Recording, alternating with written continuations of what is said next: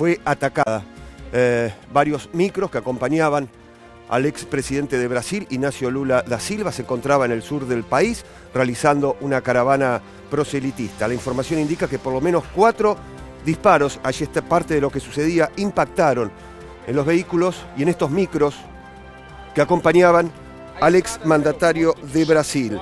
Los medios del país vecino indicaron que tres autobuses de la caravana de Lula fueron alcanzados por cuatro disparos.